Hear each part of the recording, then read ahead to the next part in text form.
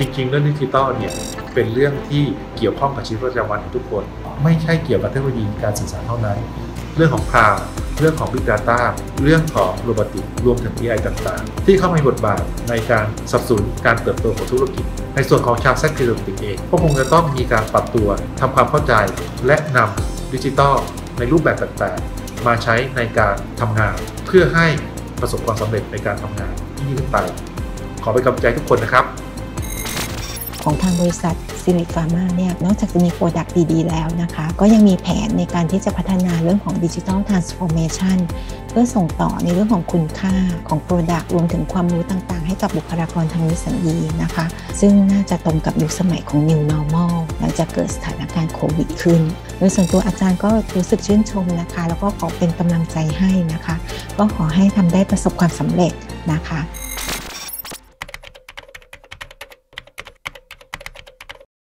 ปัจจุบันประเทศไทยมีการแพร่ระบาดของเชื้อโควิด -19 ในวงกว้าง ส่งผลกระทบต่อการดำเนินชีวิตของประชาชน การใช้ชีวิตประจำวันหรือการทำงานเนี่ยมันก็ต้องเปลี่ยนแปลงครับ เพราะว่ามันไม่ใช่เหมือนกับภาวะปกติอะเราต้องเตรียมพร้อมทุกอย่างไม่ให้ให้ทุกคนในพนักงานในร้านเนี่ยปลอดภัยปราศจากเชื้อโควิด -19 นะครับ เราในฐานะที่เป็นบุคลากรทางการแพทย์ซึ่งมีความเสี่ยง เพราะฉะนั้น social distancing ใน แวดวงของเราเนี่ยมีความสำคัญ โอกาสที่จะรับเชื้อและส่งต่อเชื้อไปยังคนอื่นเนี่ยน้อยลง เออ virtual call เนี่ยก็ตั้งแต่งานประชุมระดับนานาชาติ หรือในแง่กับผู้แทนหรือบริษัทเนี่ยเรายังมีการติดต่อกันสม่ำเสมอเอ่อมีโปรโมชั่นมียาใหม่ในด้านการสื่อสารอะไรอย่างนี้ก็ประทับใจค่ะ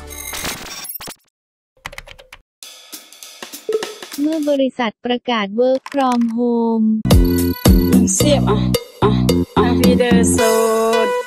ความเป็นจริง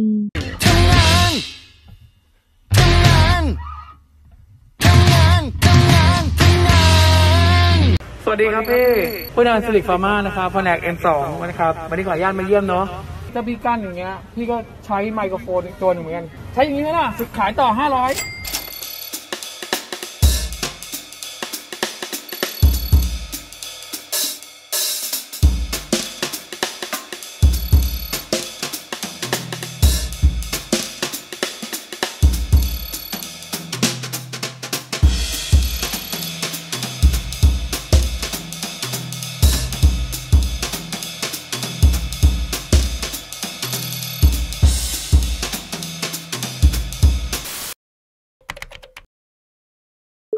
การพบปะลูกค้าเราก็ต้องมีการโทรนัดหมาย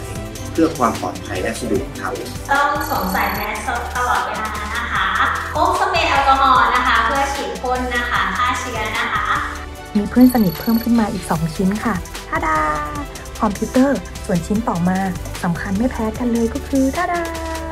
นั่งหน้าคอมทั้งวันเราก็ต้องมีตัวช่วยกันหน่อยค่ะ ใช้ดิจิตอลในเรื่องของการให้ข้อมูลกับลูกค้านะครับ ไม่ว่าจะเป็นผ่านโปรแกรม Zoom โปรแกรม Microsoft Teams นะครับ พอทำเข้าจริง ๆ ค่ะ รู้สึกว่าดิจิตอลเนี่ยช่วยทำให้การทำงานของเราอะรวดเร็วขึ้น แล้วก็ทำให้มีประสิทธิภาพมากขึ้นด้วยค่ะ ไปใช้กับแพทย์แล้วนะคะ ก็ได้รับ feedback ที่ดีขึ้นจากบางท่านเนี่ยที่อ๋อไม่ชอบคุยเป็น face to face นะคะ พอมาใช้แพลตฟอร์มแบบนี้ก็ทำให้เราทำงานได้ effective มากขึ้นนะคะ เปลี่ยนเรื่องยากให้เป็นเรื่องง่ายด้วยปลายนิ้วนะคะดิจิตอลก็ทำให้เราสามารถ connect กับอาจารย์ได้ง่ายขึ้น แล้วก็ทำให้แผนงานของเราไม่สะดุดด้วย